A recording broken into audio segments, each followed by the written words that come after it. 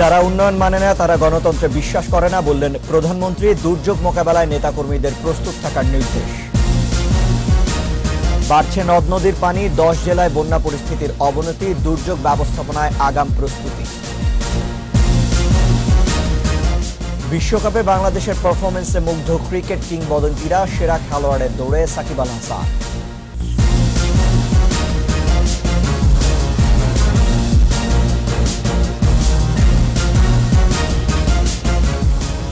শুনছিলেন first security Islami bank limited সংবাদ শিরোনাম।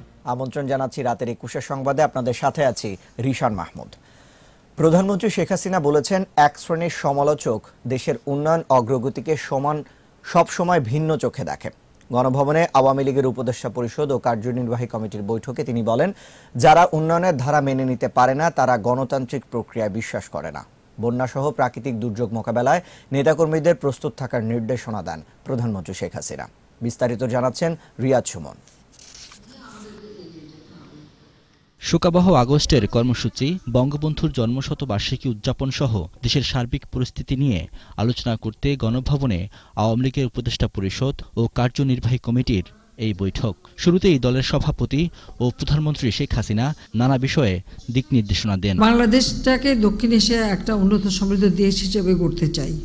সূচনা বক্তৃতায় প্রধানমন্ত্রী বলেন সব ষড়যন্ত্র মোকাবেলা করে মানুষের কল্যাণে দীর্ঘমেয়াদী পরিকল্পনা নিয়েছে সরকার। নিয়মতান্ত্রিকভাবে পরিকল্পনা বাস্তবায়ন করার কারণেই বাংলাদেশ বিশ্বের কাছে উন্নয়নের রোল মডেল।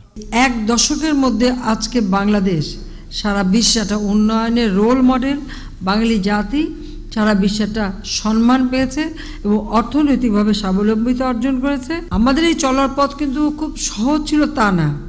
প্রতি পদে পদে বাধা অগ্নিসন্ত্রাস খুন নির্যাতন অনেক কিছু সহ্য করতে হয়েছে। তারপরেও আমরা কিন্তু এগিয়ে যেতে সক্ষম হয়েছি। তবে একটি চক্র দেশের গণতান্ত্রিক এই ধারা আর এই উন্নয়নকে মেনে নিতে পারে না বলেও মন্তব্য করেন প্রধানমন্ত্রী। এই যে আমরা অর্থনৈতিকভাবে যত দূরই আগাই কিন্তু কিছু লোক সবসময় এটাকে মানে একটা ভিন্ন চোখে দেখা অভ্যাস। এই, এরা এরা আসলে কখনো ওই গণতান্ত্রিক ধারাটা চায় না। গণতান্ত্রিক ধারাটা হলে আমার মনে হয় যেন তাদের বোধহয় দম ঘটে তারা বোধহয় নিঃশ্বাস নিতে পারে এরকম একটা ভাব তাদের। বন্যা মোকাবেলায় সরকারের প্রস্তুতির কথাও জানান প্রধানমন্ত্রী। একই সাথে দুর্যোগ মোকাবেলায় নেতাকর্মীদের প্রস্তুত থাকারও নির্দেশ দেন তিনি। অনেক জায়গায় পানি হচ্ছে বন্যা হচ্ছে বা কোথাও নদী ভাঙ্গ হতে পারে বা পাহাড়ে ধস নামতে পারে। আমরা কিন্তু প্রতিনিয়ত সারা দেশে কোথায় কি ঘটছে প্রতিনিয়ত আমরা খবর নিচ্ছি এবং সেখানে যার যার দায়িত্ব সেটা দেওয়া আছে তারা সঙ্গে সঙ্গে তাদের দায়িত্বগুলি পালন করে যাচ্ছে। এক্ষেত্রে আমাদের রাজনৈতিক দলও সক্রিয় থাকতে হবে কারণ যে কোনো দুর্যোগ মোকাবেলায় আমাদের বাংলাদেশ আওয়ামী লীগ কিন্তু সবসময় অগ্রণী ভূমিকা নিয়েছে। যে কোনো দুর্যোগ মোকাবেলায় বাংলাদেশ এখন বিশ্বের কাছে অনুকরণীয় বলেও জানান বঙ্গবন্ধু কন্যা। মানুষের কল্যাণে এবং উন্নয়নে কাজ করা এই নীতি নিয়েই আমরা কাজ করি বলেই আজকে দেশটা কিন্তু এগিয়ে যাচ্ছে। রিয়াজ সুমন একুশে টেলিভিশন ঢাকা। বন্যা পরিস্থিতির অবনতি হয়েছে। দেশের বিভিন্ন জায়গায় বেড়েছে নদ নদীর পানি। তিস্তার পানি ডালিয়া পয়েন্টের বিপদসীমার আঠাশ সেন্টিমিটার উপর দিয়ে বইছে। সুনামগঞ্জে সুরমা নদীর পানি বিপদসীমার সাতাশি সেন্টিমিটার উপর দিয়ে প্রবাহিত হচ্ছে। নদ নদীর পানি আরও বাড়তে পারে বলে জানিয়েছে বন্যা পূর্বাভাস ও সতর্কীকরণ কেন্দ্র। এদিকে বন্যার সাথে যোগ দিয়েছে নদী ভাঙন। দুর্গত এলাকায় দেখা দিয়েছে বিশুদ্ধ পানি আর খাবারের সংকট। প্রতিনিধিদের সহায়তায় মাসুম আলিসা রিপোর্ট। উজানের ঢল আর ভারী বৃষ্টিতে লালমনিরহাট ও নীলফামারিতে তিস্তার পানি বেড়েছে। প্লাবিত হয়েছে নদী তীরবর্তী এলাকাগুলো। তিস্তা ব্যারেজের সবকটি স্লুইস গেট খুলে দিয়েছে ব্যারেজ কর্তৃপক্ষ। লালমনিরহাটে ষাটটি গ্রাম প্লাবিত হয়ে পড়েছে। চুলে টুলে সব ভাসি গেছে। যে কলে পানি খাই এই কল ডুবিয়েছে শেরপুরের ঝিনাইগাতিতে পানির স্রোতে মহারশী নদীর দিঘির পার বন্যা নিয়ন্ত্রণ বাঁধ ভেঙে পাঁচটি ইউনিয়নের বেশ কয়েকটি গ্রাম প্লাবিত হয়েছে। পানিবন্দী হয়ে আছে প্রায় পাঁচ হাজার মানুষ। ক্ষতিগ্রস্ত হয়েছে বীজতলা। ভেসে গেছে পুকুরের মাছ। সিরাজগঞ্জে যমুনার পানি বাড়ার সাথে সাথে বেড়েছে নদীর ভাঙন। উৎকণ্ঠায় আছে নদী তীরবর্তী মানুষ। বোয়ালকান্দির বেশ কিছু স্থাপনা ভাঙনের মুখে।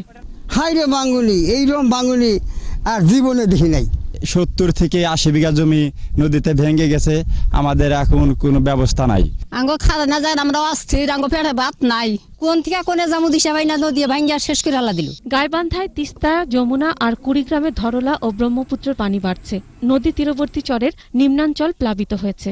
তলিয়ে গেছে বীজতলা ভুট্টা ও সবজির ক্ষেত। পানি বাড়ার সাথে সাথে নদ নদীর ভাঙন তীব্র রূপ নিয়েছে।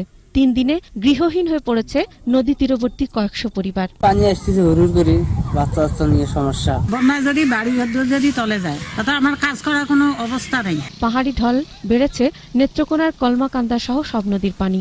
পানি উন্নয়ন বোর্ড জানিয়েছে টানা বৃষ্টিতে দ্বিতীয় দফা সোমেশ্বরী ও কংস নদীর পানি বাড়ায় বন্যা হতে পারে নিম্নাঞ্চলে। পার্বত্য অঞ্চলেও বন্যা পরিস্থিতির অবনতি হয়েছে। বান্দরবানের নিম্নাঞ্চলের প্রায় দশ হাজারেরও বেশি পরিবার পানিবন্দী হয়ে পড়েছে। সাঙ্গু ও মাতামুহুরী নদীর পানি বেড়েছে। রাস্তার তলিয়ে ও সড়ক ধসে যাওয়ায় চতুর্থ দিনের মতো বন্ধ আছে বান্দরবান রাঙামাটির সাথে সারা দেশের সড়ক যোগাযোগ। এদিকে উত্তর পূর্বাঞ্চলে সুরমা ও কুশিয়ারা নদীর পানি বাড়ছে। সিলেটের কানাইঘাটে সুরমার পানি বিপদসীমার উপর দিয়ে প্রবাহিত হচ্ছে। জাফলং ও লালাখাল এলাকা দিয়ে উজানের ঢল অব্যাহত থাকায় জৈন্তাপুর ও গোয়াইনঘাটে পানি বেড়েছে। তলিয়ে গেছে রাস্তাঘাট। সুনামগঞ্জের গোলঘর পয়েন্টে সুরমা নদীর পানি বিপদসীমার সাতাশি সেন্টিমিটার উপর দিয়ে প্রবাহিত হচ্ছে।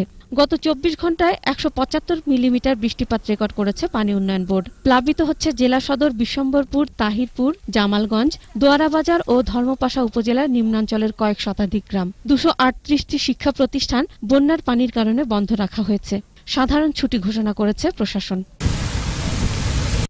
মাসুম আলিসা একুশে টেলিভিশন। এদিকে অতিবৃষ্টির কারণে দেশের দশ জেলায় বন্যা পরিস্থিতি তৈরি হয়েছে। ঝুঁকি মোকাবেলায় সংশ্লিষ্ট সবাইকে প্রয়োজনীয় নির্দেশনাও দেওয়া হয়েছে। সচিবালয় সংবাদ সম্মেলনে ত্রাণ ও দুর্যোগ ব্যবস্থাপনা প্রতিমন্ত্রী জানিয়েছেন এই অবস্থায় আগাম প্রস্তুতি রয়েছে। এক কোটি বিশ লক্ষ টাকা এবং পরে পরবর্তীতে এক কোটি আশি লক্ষ টাকা আরও সেখানে পাঠানো হয়েছে। রেড ক্রিসেন্ট আনসার ভিডিপি এবং ফায়ার সার্ভিসের ভলান্টিয়ারদেরকে এবং স্কাউটদেরকে প্রস্তুত রাখা হয়েছে বন্যা কবলিত জনগণকে আশ্রয় কেন্দ্রে সরিয়ে নেওয়ার জন্য। ভারী বৃষ্টিপাতে ডুবেছে রাজধানীর বিভিন্ন সড়ক। ছুটির দিন হলেও যারা বাইরে বেরিয়েছেন, তাদেরকে পড়তে হয় চরম দুর্ভোগে। আরও দুই তিন দিন বৃষ্টি থাকবে বলে পূর্বাভাস দিয়েছে আবহাওয়া অফিস। মুজিবুর রহমানের ক্যামেরায় ইবনে নুর শাওনের রিপোর্ট। সকাল থেকেই গুলিগুলি বৃষ্টি, তাপমাত্রা কমিয়েছে। দুপুর নাগাদ ভারী বর্ষণ। রাজধানীর সড়কগুলোর কোথাও কোথাও হাঁটু পানি। জলমগ্ন হয়ে পড়ে নিচু এলাকার রাস্তাঘাট। রাস্তার পাশের নিচু ভবনগুলোতেও পানি ঢুকে পড়ে। ছুটির দিন হওয়ায় রাস্তায় নামতে হয়নি অনেককেই। তারপরেও জীবনের তাগিদে যারা বেরিয়েছেন, তাদের ভোগান্তির শেষ নেই। গাইলাম একবার পুরো এক মাজা পানি ভিজা ভিজা এলাম অনেক সমস্যা যাইতে প্রত্যেকটা পানি।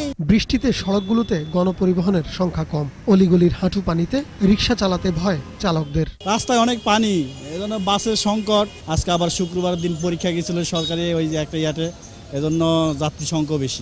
ওই দিক দিয়ে পানি অতিরিক্ত। যাত্রী আছে ওই দিক দিয়ে গেলে রিক্সা নষ্ট হয়ে দিয়ে আর যাইতেছি আবহাওয়া অফিস বলছে দুই থেকে তিন দিন এভাবেই ঝরবে বৃষ্টি। তাদের পূর্বাভাস আগস্টের মাঝামাঝি পর্যন্ত ভারী বৃষ্টিপাতের সম্ভাবনা রয়েছে। এরই মধ্যে পাহাড় ধসের সতর্কতা সংকেত দেওয়া হয়েছে। বৃষ্টিপাত হওয়ার কারণটা হলো এই সময় বর্ষাকাল, বাংলাদেশের উপর প্রবল আকার ধারণ করেছে মানে শক্তিশালী হয়েছে এবং সারা দেশে এই বৃষ্টিপাতটা হচ্ছে। ছয় তারিখের পর থেকে চট্টগ্রাম বিভাগ এবং বরিশাল বিভাগে আমরা অতি ভারী বর্ষণের সতর্কতা সংকেত জারি করেছি এবং সেই সাথে পাহাড়ি যে অঞ্চলগুলো আছে, পাহাড়ি অঞ্চলগুলোতে আমরা ভূমিধসের অর্থাৎ পাহাড় দশের আমরা সতর্ক সংকেত জারি করেছি। এখন যে এই পরিস্থিতির এই স্পিডে আমরা আশা করছি আরও দুই দিন পর্যন্ত মোটামুটি থাকবে। তারপর বৃষ্টিপাত কিছুটা হয়তো কমবে কিন্তু জুলাই মাসে কিন্তু বৃষ্টি একেবারে শীষ হয়ে যাওয়ার সম্ভাবনা কম। হিমালয় উপত্যকা সহ দেশের উত্তরাঞ্চলে ভারী বৃষ্টিপাত হয় পাহাড়ি ঢলে বন্যার আশঙ্কা রয়েছে। ইবনে নূর শাউন একুশে টেলিভিশন ঢাকা। আবার সংবাদে বরগুনায় রিফাত হত্যা মামলায় এজাহারভুক্ত ছয় নম্বর আসামি রাব্বি আক্কুন সাত দিন এবং অধিকতর জিজ্ঞাসাবাদের জন্য সাইমনকে চতুর্থ দফায় তিন দিনের রিমান্ড মঞ্জুর করেছে আদালত। বরগুনার সিনিয়র জুডিশিয়াল ম্যাজিস্ট্রেট আদালতের বিচারক মোহাম্মদ সিরাজুল ইসলাম গাজী এই রিমান্ড মঞ্জুর করেন। এর আগে দুই আসামিকে আদালতে হাজির করা হয়। মামলার তদন্ত কর্মকর্তা হুমায়ুন কবির জানান, রাব্বি আকনের দশ দিন এবং সাইমনের পাঁচ দিনের রিমান্ড আবেদন করা হলে আদালত এই আদেশ দেন। এর আগে সাইমনকে পাঁচ দিন করে দুইবার এবং তিন দিন করে একবার রিমান্ডে জিজ্ঞাসাবাদ করা হয়েছে। এ পর্যন্ত এই মামলায় এজাহারভুক্ত ছয়জন এবং সন্দেহজনক সাতজনকে গ্রেফতার করেছে পুলিশ।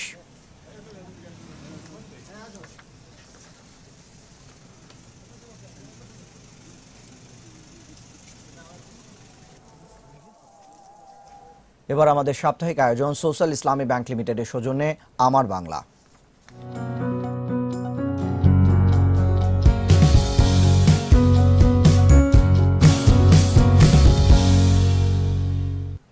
ময়মনসিংহের ঐতিহ্য মুক্তাগাছা জমিদার বাড়ি।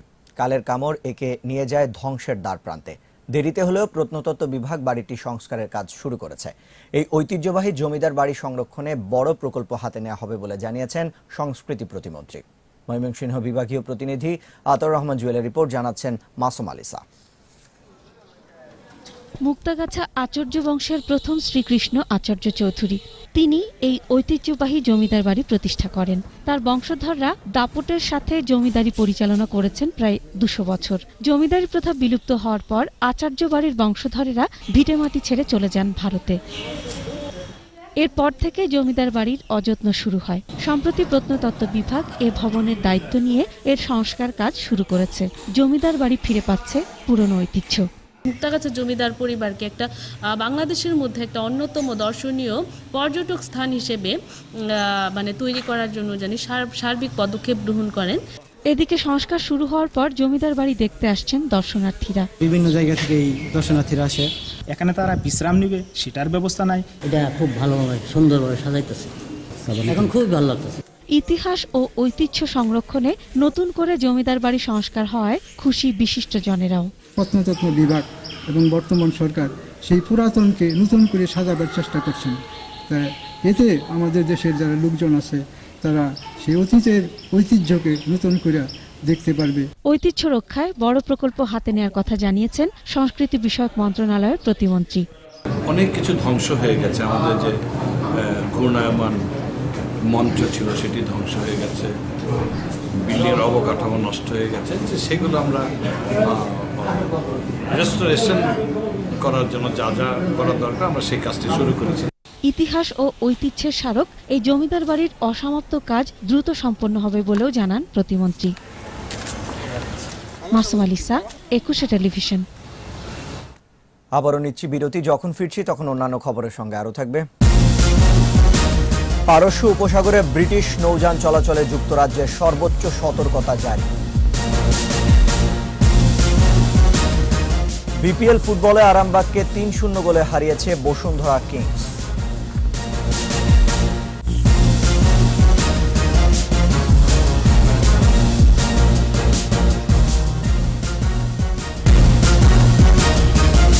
আবার এবার প্রবাসের খবর।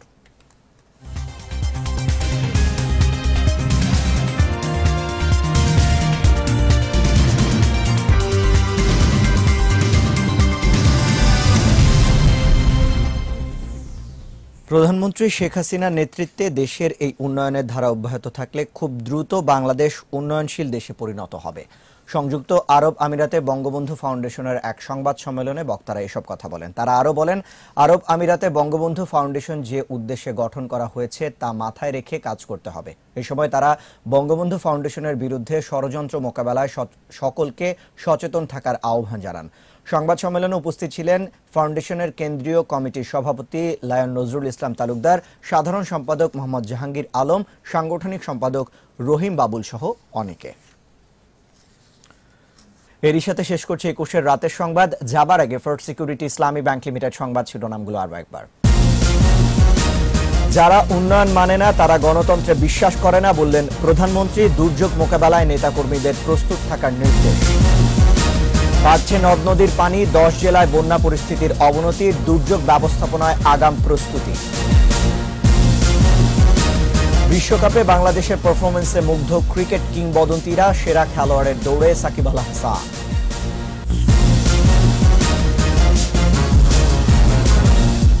সবশেষ খবর জানতে ডায়াল করুন টু জিরো টু ওয়ান নম্বরে ভিজিট করুন একুশে ডাস টিভি ডট কম এই ওয়েবসাইটে এছাড়া ফেসবুকে লগ ইন করতে পারেন facebook dot com slash Ekushey twenty four অনলাইনে আমাদের পরবর্তী সংবাদ দেখার আমন্ত্রণ রইল, একুশের সাথেই থাকুন।